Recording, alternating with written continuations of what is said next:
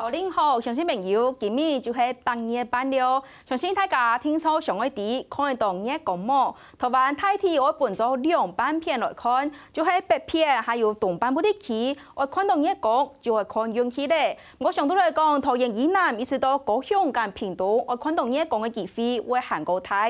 另外诶，今日嘅热公就系深夜能做得多到一百，最大嘛系最热嘅热公。故说大家我听说好好把握机会。稍后看到下一张半日嘅地面天视图。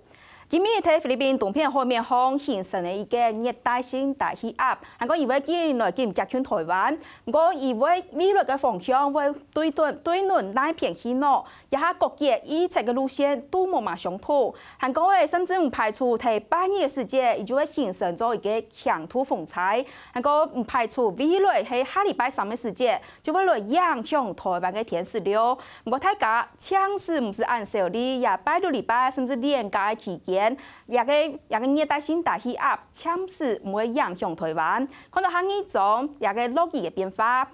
比如一礼拜落雨情形，大体我分做两阶段来看。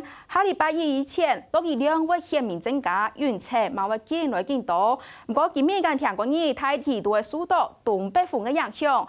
下下礼拜下下礼拜日，甚至到下礼拜一时节，就会有南岸一层东北季风来到台湾了。我主要影响嘅范围，还係睇东湖面蔬菜嘅，睇台北嘅东半片，甚至睇宜蘭也看到成木高層嘅蔬菜，就代表落雨量會行高多。另外咧，睇東半部啲區，花蓮間台東就會下擺會落多雲強陣雨。另外咧，中南部嘅沿港巷我特別擔心，當住個後會落西北雨，都係下禮拜二，因為東北季风就会减弱嘅，水氣天輪就会显明减少，看下下一种温度嘅变化。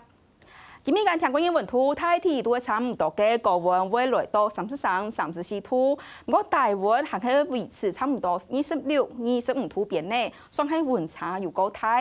我到係半夜，條都講到有南岸一層東北季風就會下南呢，我也東北季風就会今日嘅头日出過後嘅頭層東北季風，韓國嘅一個強度就冇咁強，故所主要影響嘅範圍，大體係睇北部地區，也看到風勢一條線。就係北部嘅温度，甚至睇八月嘅時節，北部嘅高温都差唔多三十度，大體會維持差唔多二十八、二十九度邊呢。不过相對嚟讲，南部嘅温度還係維持差唔多三十三、三十四度邊呢，會係高好嘅天時。大家聽說上位地哦，半夜半過後，大環境因为有乜嘅变化咯？看到下一種為大家来分享嘅高奇妙嘅樂觀言語，按照半夜半過後。那有當主好衰咯，也意思就我讲半夜班过后，二十条嘅时间会见落见短。